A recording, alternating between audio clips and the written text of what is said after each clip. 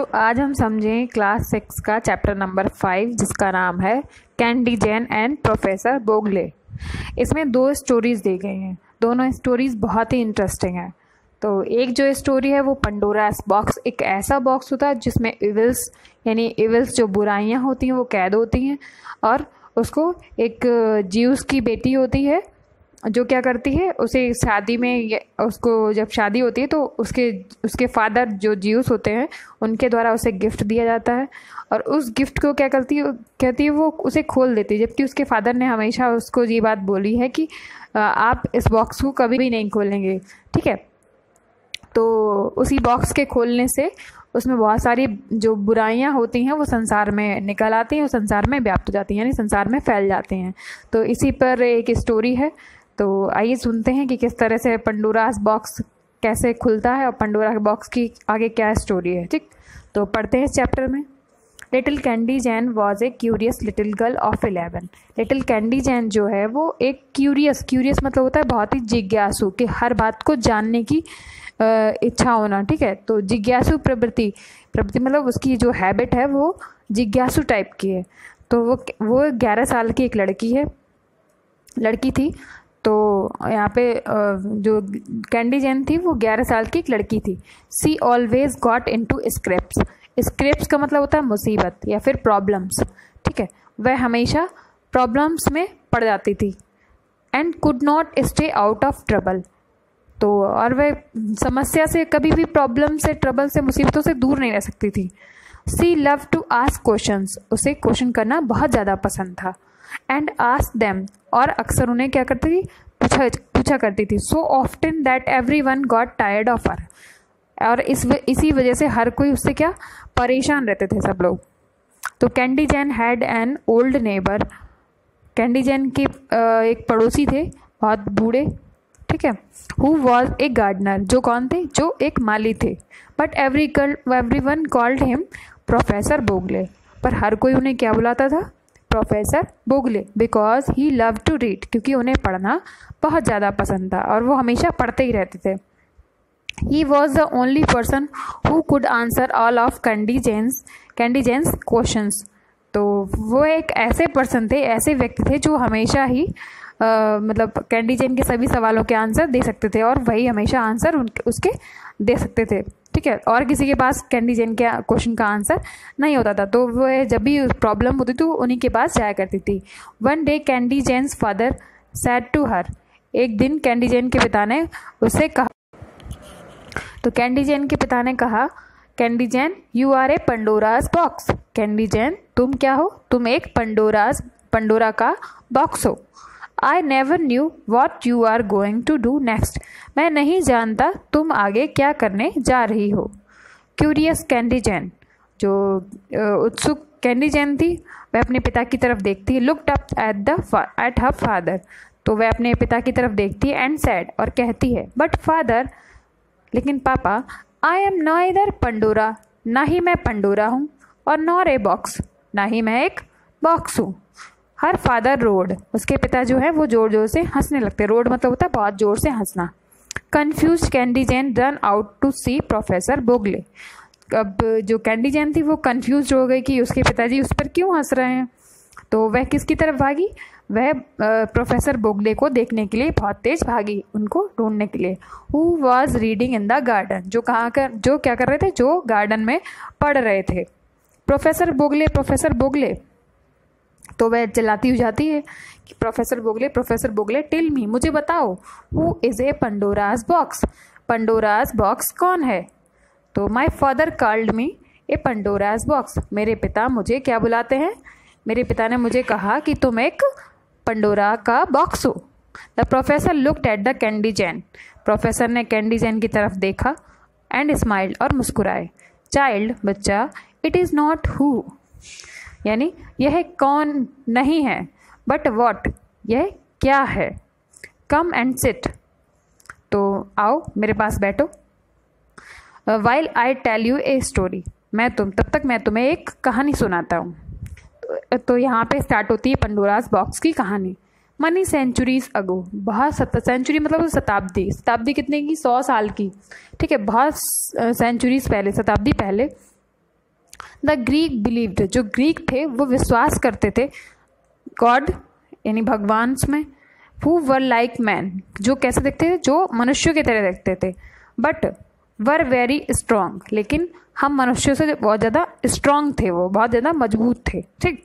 They could change themselves into anything वह अपने आप को किसी भी रूप में बदल सकते थे। Mortal man animals, plants and और मॉन्स्टर्स। मॉर्टल मैन मतलब होता है कि जान ले लेने वाले मनुष्य, यानी कि किसी की जान लेवा, जैसे कोई भी खूंखार जानवर बन जाता है, ठीक है? या फिर किसी भी प्लांट्स का रूप ले दे सकते थे, किसी भी पौधे का, या फिर किसी भी शैतान का रूप ले सकते थे तो इतने मज़बूत थे और उनके पास कुछ शक्तियाँ थी, ठीक है? तो their greatest god god was Zeus और उनके जो महान देवता थे वो कौन थे? उनका नाम ज्यूस था, ठीक? He was very angry with mortals और वह इसी बात से जो मोटल्स मैन थे, यानी जो अपने आप को किसी भी रूप में बदल सकते थे, उनसे बहुत ज़्यादा गुस्सा थे बिकॉज़ दे यूज़ फायर क्योंकि उन्होंने इंसानों का बुरा करने के लिए क्या किया? फायर का यूज़ किया। The fire was stolen from Zeus by another god called Prometheus जो फायर थी, वो चुरा चुरा ली गई थी। किसके द्वारा? एक अन्य देवता थे, जिसका नाम था प्रोमेथियस तो Zeus order the creation of the first woman तो ज्यूस ने किसको ऑर्डर दिया?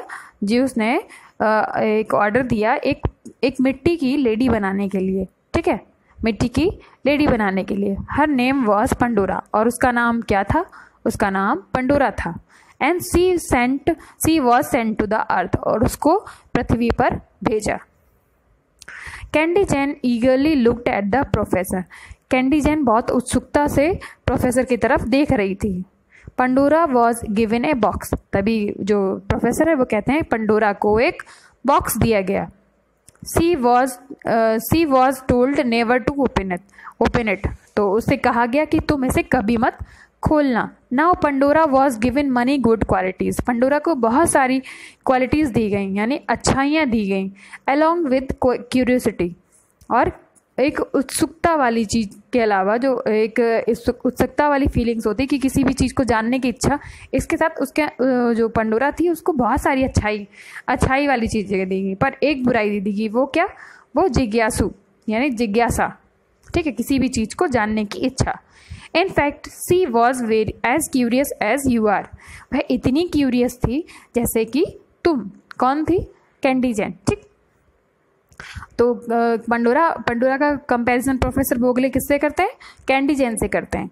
She was she so in inquisitive about the box तो जो इनक्यूजिटिव मतलब होता है जिज्ञासा।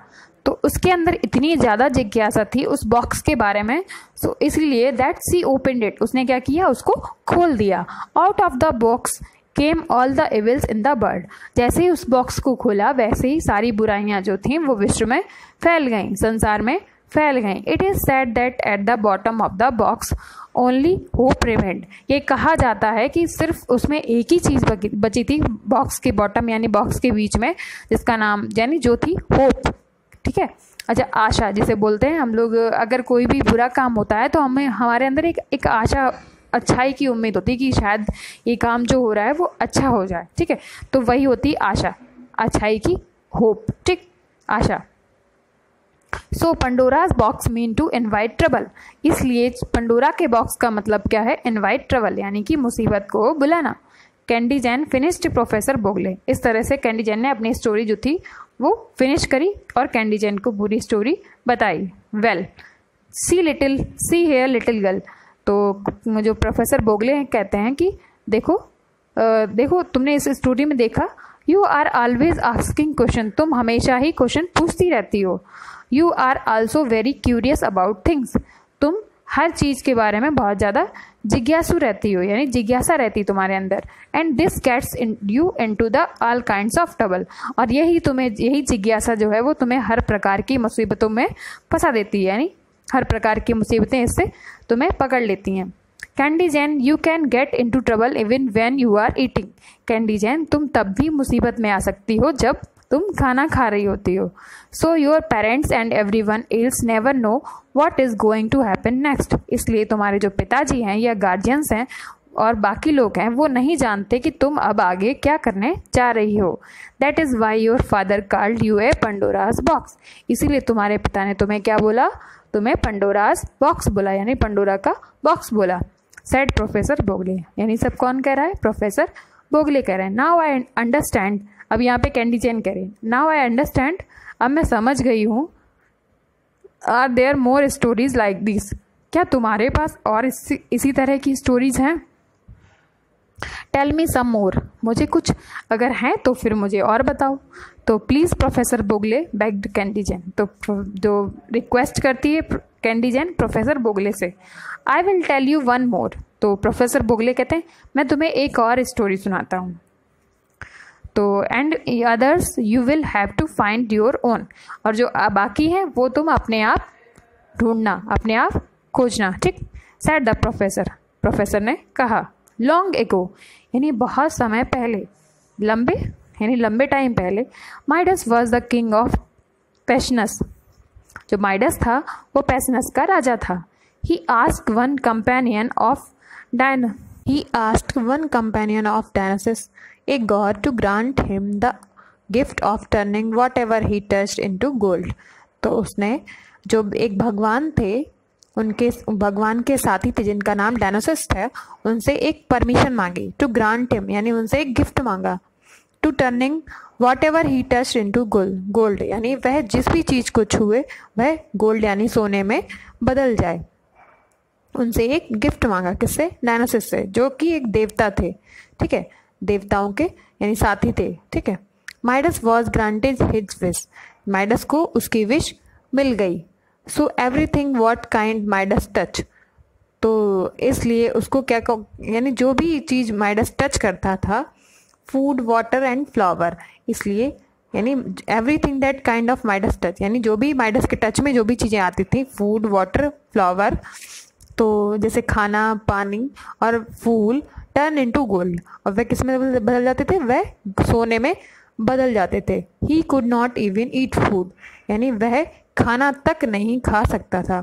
Then one day his daughter touched him और एक दिन उसकी जो बेटी थी, उसने उसे छू लिया।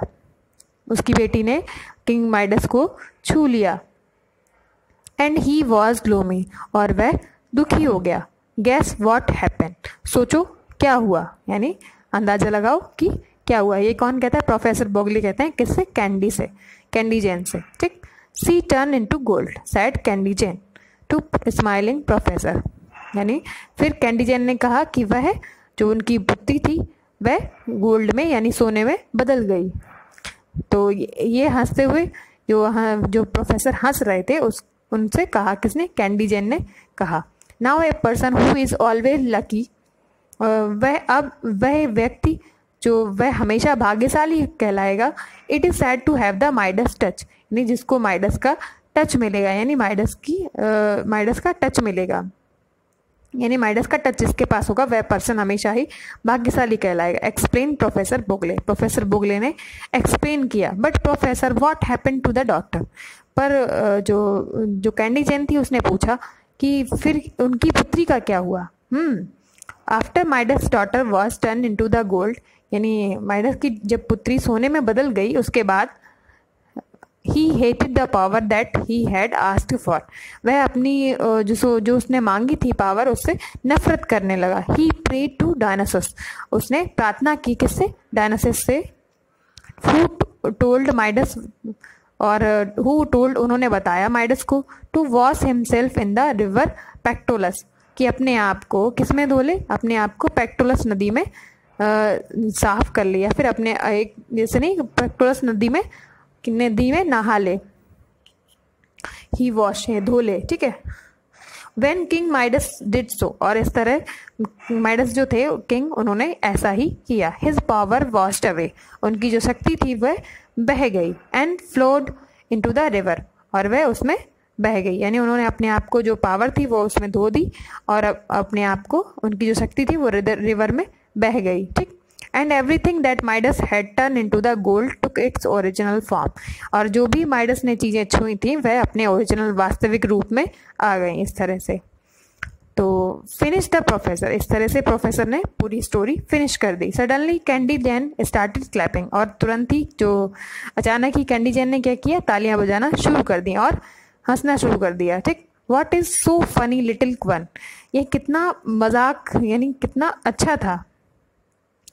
ट्विस्ट प्रोफेसर बोगले तो जो प्रोफेसर बोगले हैं, वो भी आश्चर्यजनक रह जाते हैं उसके इस एक्शन से। ट्विस्ट मतलब होता है हंसना, ठीक है? तो इस तरह जो प्रोफेसर बोगले हैं, वो भी हंसने लगते हैं साथ में, क्योंकि कैंडी जैन जो है थी, वो भी ताली बजाकर हंस रही थी। और कह रही थी कितनी अच्छी, छोटी सी ये स्टोरी है what a little funny story यानी ये कितनी मजाकपूर्ण स्टोरी थी। तो ओ professor so the story of king Midas also tells us it is bad to want more things तो अरे प्रोफेसर तो कैंडी जैन कहती कि इसलिए जो स्टोरीज ऑफ़ किंग माइडस की थी, वह हमें बताती है कि इट इज़ बैड यानी यह बुरी चीज़ है कि हमें अधिक चाहिए, यानी हमें ज़्यादा चाहिए। Things than we really need जिनकी हमें आवश्यकता है, हमें उतना ही उतना ही चाहिए, उससे ज़्यादा चाहना क्या है? वो बैड है, यानी बुरा है। These old stories are so useful ये पुरानी कहानियाँ कितनी प्रयोगपूर्ण होती हैं, यानी कि यूज़फुल होती हैं हमारे लिए, कितनी लाभदायक होती हैं for our every day situations क्योंकि हम अपनी लाइफ में ऐसी सिचुएशंस हमेशा देखते रहते हैं। तो एक्सलेम्ड कैंडी जैन और कैंडी जैन ने इस तरह से बिल्कुल आश्चर्यपूर्वक यही बात कही। ठीक है? इस तरह से आ, आ, कही। स्माइलिंग प्रोफेसर बोगले रिप्लाइड जो स्माइलिंग जो स्माइल कर रहे थे हंस रहे थे प्रोफेसर बोगले वह रिप्लाई करते हैं। कहते हैं हाँ they are yes they are. हाँ यही स्टोरियाँ हमारे लिए बहुत ज़्यादा यूज़फुल हैं। Myths are stories about the past. जो पौराणिक कहानियाँ हैं वह वह किसी न किसी चीज़ के बारे में बताती हैं पुरानी चीज़ यानी पास्ट के बारे में। होती हैं। मिथ्स मतलब होता है कि जो पुरानी एंशियंट मैथ्स मिथ्स यानी प्राचीन काल की जो कहानियाँ होती हैं। तो ये हमें किसी न किसी पास्ट स्टोरीज के बारे में बताती हैं। Sometimes they tell stories of the heroes of a culture और कभी कभी ये स्टोरियाँ क्या करती हैं? ये स्टोरियाँ हमें हीरोज़ ऑफ़ ए कल्चर हमारी संस्कृति के कुछ हीरोज़ की स्टोरियाँ भी बताती हैं कि किस तरह से हमारे प्राचीन काल में भी कुछ हीरोज़ थे। ऐसे उन्होंने अच्छे अच्छे काम किए। And one sometimes they are about imaginary people और क्रिएचर्स और कभी कभी ये जो कहानियाँ हैं, वो इमेजिनरी यानी कि काल्पनिक होती हैं लोग काल्पनिक लोगों काल्पनिक प्राणियों के बारे में होती हैं। Through the stories we learn about the rules of the society इन्हीं स्टोरियों के थ्रू हम क्या सीखते हैं? हम रूल सीखते हैं किसके? सोसाइटी के। And also the way they lived और तौर तरीके सीखते हैं कि हमें कैसे, वो लोग कैसे रहते थे। प्राचीन काल में। Every culture hads its own mythology हर एक कल्चर की अपनी एक अलग कहानी, यानी एंशियंट पुरानी, प्राचीन कहानी होती है। ठीक मैथोलॉजी मैथोलॉजी मतलब होता है एंशियंट मैथ्स यानी प्राचीन कहानी होती है। That is so wonderful I want to know more said the exclaim excited Candy Jane तो कैंडी जैन बहुत ज़्यादा उत्साहित होती है और वह कहती है, ये तो बहुत अच्छा है। That is so wonderful I want to know more मैं और जानना चाहती हूँ। Candy Jane you go to the library and found out out what तो कैंडी जैन से कौन कहते हैं? प्रोफेसर बोगले कहते हैं तुम लाइब्रेरी जाओ और वहाँ खोजो। क्या? क्या खोजो? द एचल्स ये भी एक स्टोरी होगी। तो द एचल्स खोजो। हील हील इस बार, इसके बारे में खोजो। हरकुलियन एफर्ट्स ठीक है?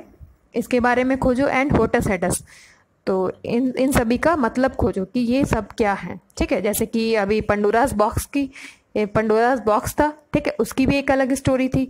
माइडस टच था तो माइडस टच की भी अलग स्टोरी थी। ऐसे ही ये स्टोरीज हैं। अब इनके बारे में तुम, इनका मतलब क्या है? तुम खुद पता लगाओ। ठीक? Candy Jane found Greek mythology Candy Jane ने पाया कि जो ग्रीक ग्रीक मैथोलॉजी है, यानी जो ग्रीक धार्मिक पुस्तक है जो बहुत पुरानी प्रा, प्राचीन है वो बहुत ज़्यादा इंटरेस्टिंग है। That she went to the library यानी उसने क्योंकि ग्रीक ग्रीक मैथोलॉजी की दो स्टोरियाँ सुनी थी प्रोफेसर बोगले से। इसलिए उसने पाया कि ग्रीक मैथोलॉजी बहुत ज़्यादा इंटरेस्टिंग है। ठीक है? सो सी दैट सी वॉन्ट इसलिए वह कहाँ गई? She go to she went to the library to find the answer और अपने आंसर खोजने के लिए कहाँ चलेगी लाइब्रेरी में चली गई। और इस तरह से ये स्टोरी यहीं पे ख़त्म होती है। आई होप आपको चैप्टर समझ में आया होगा, क्योंकि मैंने पूरा प्रयास किया है आपको समझाने का। इसमें दो स्टोरीज थी, एक पंडोरास बॉक्स थी, एक माइडस टच की थी, यानी किंग माइडस टच यानी उसने क्या किया पंडोरा बॉक्स में इवल्स बहुत इवल्स थी, बुराइयाँ थी।